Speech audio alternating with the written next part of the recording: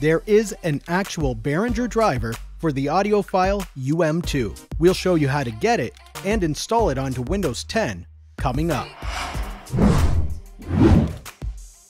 Welcome back to another simple green tech video where we give you audio recording tips, tutorials, and reviews. I'm Radio Zane, and in this video, we'll be looking at installing the actual Behringer drivers for the UM2 audio interface onto Windows 10. Plus, we'll also look at adjusting the driver settings for recording. The UM2 is a great entry level USB audio interface for streamers, YouTubers, and musicians. Let me know in the comments below what you'll be using the interface for. Also, be sure to link your channel. I'd like to check it out.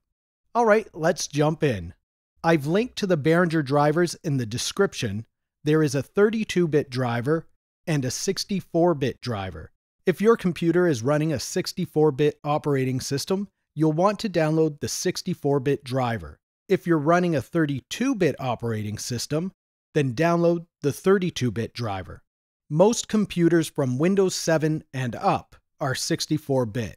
Once downloaded, you can unzip the file, go into the folder, and find the setup. Double click on the setup, choose your language, then you want to click Install the driver. If your interface isn't already plugged in, it will ask you to plug it in now. Go ahead and do that if you haven't already.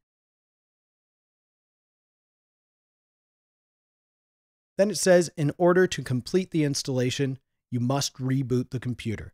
Go ahead and do that now. We're back now from restarting our computer. Now you want to open up your recording software. For this video, we're going to be using the free DAW Tracktion 7. And if you want to find out more about this free professional DAW, I will link to our Tracktion 7 playlist in the description, and you can find all kinds of information and tutorials in there. But if you're not using Tracktion, what DAW are you recording with? You can let me know in the comments below. Once your program is open, go to the settings section, and then you want to go to audio device type, and you want to change that to ASIO if it's not already there.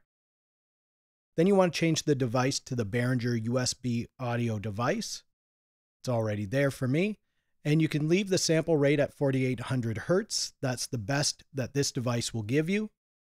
And now, if you want to adjust the latency, you go into the control panel here and you can go into ASIO.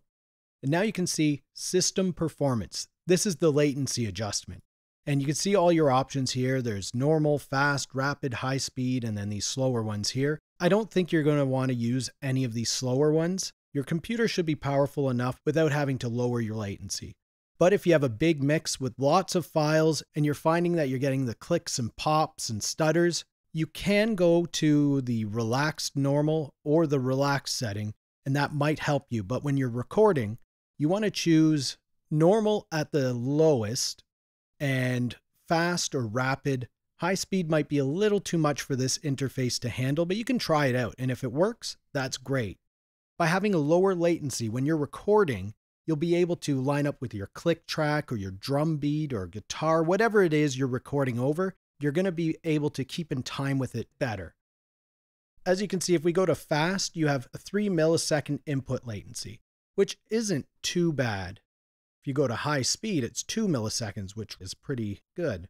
What you want to do here is find the happy medium of latency and system performance. If you notice some pops and clicks or some stuttering, or maybe your program even crashes, you will want to adjust this latency back a bit from whatever you have it set at. To recap, we looked at installing the actual Behringer drivers for the audiophile UM2 interface. We also looked at setting up your DAW to work with your interface and adjust the settings of your latency in the ASIO driver control panel.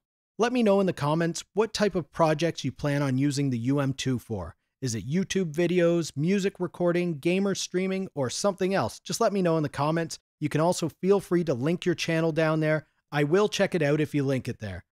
And of course, if you'd like to see more videos from us, please subscribe to the channel. Also, if this video helped you out, you can give a big thank you by heading over to our Patreon page and becoming a member for just $1.